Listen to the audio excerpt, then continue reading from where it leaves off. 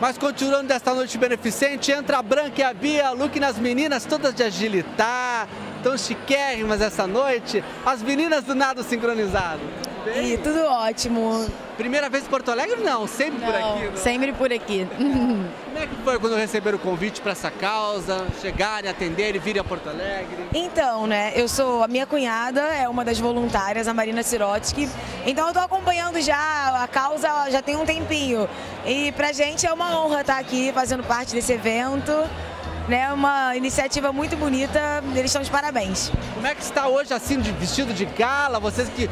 Muita roupa esportiva a vida toda, né? Olha, eu vou dizer, eu tô mais acostumada com traje de banho, né? Mas eu tô adorando. Tem até uma cauda, mostra a cauda Ah, do vestido dela que tá linda, olha ali que linda. Tem uma fenda, aqui as franjas também que é tendência, junto com a renda. Isso, toda, toda caprichada São hoje. raros esses momentos com longos? Nossa, são muito São raros. muito raros, muito raros. Eu vou dizer que eu fico até bem mais à vontade de maiô do que nisso aqui. É. Eu me sentindo linda, maravilhosa, mas é difícil me comportar dentro de um vestido tão alinhado, assim.